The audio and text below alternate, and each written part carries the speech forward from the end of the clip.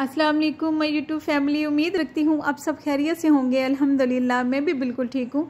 जैसे कि देख रहे हैं आज बहुत ज़बरदस्त मज़ेदार किस्म की भिंडी गोश्त की रेसिपी लेके आई हूँ, जो कि अक्सर लोग मुझसे पूछते हैं कि जो तुम भिंडी गोश्त बनाती हो, बिल्कुल भी लेस नहीं होती, लेसदार नहीं होती और बहुत ही मज़ेदार होती है सॉफ्ट और बहुत ही मज़ा आता है खाने का। तो मैंने सोचा आज अपनी बहुत ज़बरदस्त रेसिपी अपने प्यारे प्यारे व्यूवर्स को शेयर करूँ कि मैं कैसे झटपट भिंडी बनाती हूँ, भिंडी गोश्त। चलती अपनी रेसिपी की तरफ़। तो मेरी गुजारिश है, उससे पहले प्लीज़ मेरा चैनल ज़रूर सब्सक्राइब करें डॉक्टर शेफ़ किचन और बेल आइकन के बटन को प्रेस करें, ताकि मेरी ऑल नोटिफिकेशन आपको बर वक्त मिले।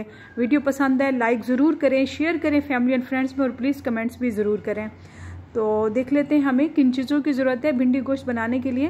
सबसे पहला जो स्टेप होता है वो भिंडी और प्याज को मैंने फ्राई कर लिया है। तकरीबन ये तीन पाव की जितना भिंडी थी और तीन अदद मैंने इसमें प्याज ले लिया। मैं प्याज थोड़ी तादाद में डाल रही हूँ, अगर आप चाहें तो इसमें ज़्यादा भी डाल सकते हैं।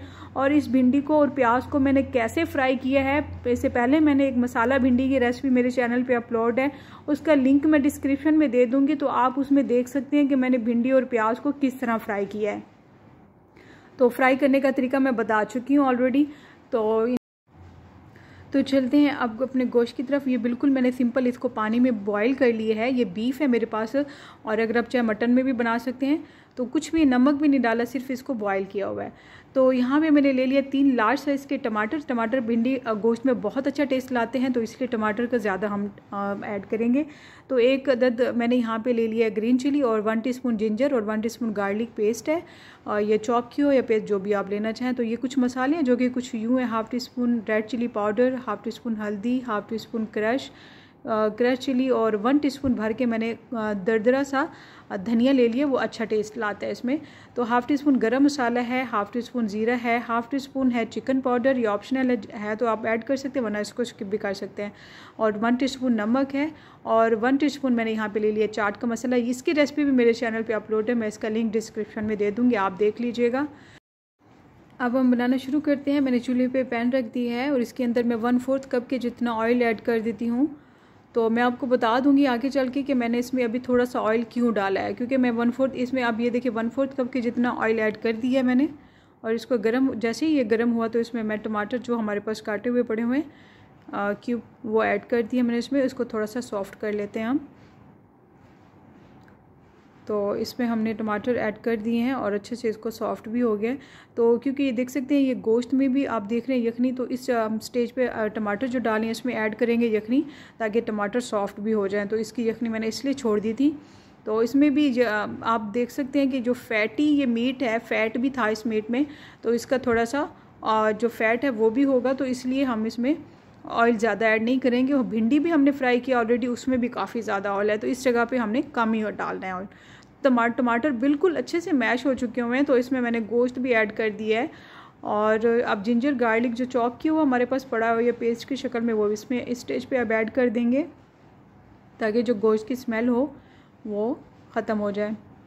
क्योंकि सिंपल हमने इसे बॉईल कर लिया था, फ्राई तो हम इसे भून रहे हैं अभी, मसालों के साथ अच्छा सा भून लेंगे, तमाम मसाले भी मैंने इसमें ऐड कर दिए हैं, और फिर अच्छा सा इसको मसालों के साथ भी भून लेंगे और साथ में इसमें पानी भी ऐड करेंगे वन टेबल स्पून के जितना, ताकि ये मसाले भी ना जलें।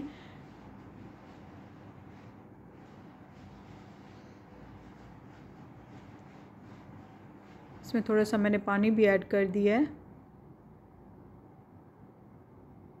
इसको अच्छे से खूब सारा भून लेंगे। जहाँ पे मुझे पानी महसूस होगा दोबारा, जो थोड़ी सी मेरे पास यखनी पड़ी हुई थी, वो भी ऐड की और मज़ीद पानी ऐड कर दिया है।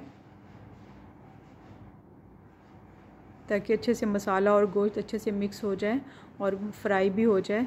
वो देखिए तड़ी भी नज़र आ रही है। इस जगह पे मैं ग्रीन चिली डालने का एक राज ये होता है, कुछ मैंने भिंडी में भी फ्राई कर लिया था और एक मैं इसमें डाल रही हूँ, इससे टेस्ट बहुत अच्छा आता है सालन का। ये मेरी ख़ास रेसिपी है कि मैं इसमें गोश्त में इस तरह ग्रीन चिली ऐड करती हूँ तो गोश्त का टेस्ट भी बहुत अच्छा आता है। ये ख़ास टिप है। तो अब इस स्टेज पे हमने तमाम मसाले मिक्स कर लिए हैं। अब देखिए, इसमें भी काफ़ी सारा ऑयल है, भिंडी और प्याज के साथ। तो हम इस स्टेज पे डाल देते हैं। अब इसमें आप जितना भी पानी डालेंगे तो ये आपकी जो भिंडी है, बिल्कुल इसमें लेस नहीं पैदा होगी, क्योंकि जो पहला स्टेप होता है, वो आप उसको फॉलो करेंगे तो भिंडी गोश्त बहुत ज़बरदस्त पड़ने वाला है। अब देखिए अलग अलग से भिंडी गोश्त आपको नज़र आ रही है, और इसमें बिल्कुल भी लेस नहीं है। इसके भी मैं टिप्स आपको बताती हूँ कि इसमें लेस क्यों नहीं है। अब देखिए, माशाल्लाह हमारे यहाँ पे भिंडी तैयार हो चुकी हुई है और देखिए, ये अलग से जो ऑयल था, हल्का सा वो भी नज़र आ रहा है तो सबस धनिया थोड़ा सा मेरे पास पड़ा हुआ है, वो भी हम इसमें ऐड कर देते हैं अच्छी खुशबू के लिए तो इसको अच्छे से हम मिक्स कर लेते हैं। अब ये देख सकते हैं कि भिंडी इसलिए लेसदार नहीं है और अलग अलग है और उसकी वजह यह है कि हम इस भिंडी को धो के रख देंगे तो इसको ड्राई होके काटेंगे, फिर इसको जब फ्राई करेंगे तो बिल्कुल ये ड्राई होती है। तब ये इस, ये एक ख़ास टिप है तो आपकी भिंडी कभी भी लेसदार नहीं होती। तो इसको हमने ढक दिया स्टेज पे, थोड़ी देर बाद फिर इसका ढक्कन उतार लिया है कि हमारी माशाल्लाह सालन बिल्कुल तैयार है, ताकि जो धनिया डाला था उसकी खुशबू भी सालन में मिक्स हो जाए। तो मैं सर्विंग के लिए इसको निकाल लिए है। तो अब यकीन जाने इसकी खुशबू भी बहुत मज़ेदार है और टेस्टी भी है। आप ख़ुद बनाएँगे मेरे तरीके से तो आपके घर वाले बहुत पसंद करेंगे। और मुझे उम्मीद है कि ये भिंडी गोश्त की रेसिपी आज की मेरी बहुत पसंद आई आपको तो मैं इसको आपको बताती भी हूँ चेक करके कि ये किस तरह की टेस्टी बनी है। तो ये तो आप मुझे खुद ही बताएँगे बना के कमेंट्स बॉक्स में कि आपकी ये भिंडी, आपने भिंडी गोश्त बनाया तो आपको ये कैसी रेसिपी लगी। तो मेरी दुआ है, अल्लाह आपको अपने तमाम लाजवाल नियमतों के साय तले रखिए और खुश रहें, आबाद रहें तो मुझे अपनी दुआओं में भी याद रखा करें। तो माशाल्लाह बहुत ज़बरदस्त रेसिपी इसको मैं ट्राई कर रही हूँ। ये सब फ़र्स्ट फ़र्स्ट बाइट ये मेरे प्यारे प्यारे व्यूवर्स के नाम और ये मेरे प्यारे व्यूवर्स के नाम। मेरे तमाम प्यारे व्यूवर्स के नाम पे ये बाइट उनके नाम। बहुत मज़ा आ गया। ज़बरदस्त ये माशाल्लाह टेस्टी बनी है और यकीन जाने हाथ ही नहीं रुक रहा। ये तो आप खुद बना के मुझे बताएँगे। कि आपको ये रेसिपी कैसे लगी? बहुत ज़बरदस्त, माशाल्लाह टेस्टी ये बनी है।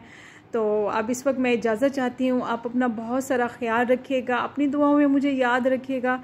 फिर लौट के आऊँगी एक ज़बरदस्त, मज़ेदार और ख़तरनाक रेसिपी के साथ। तब तक इजाज़त चाहती हूँ। अल्लाह हाफिज़।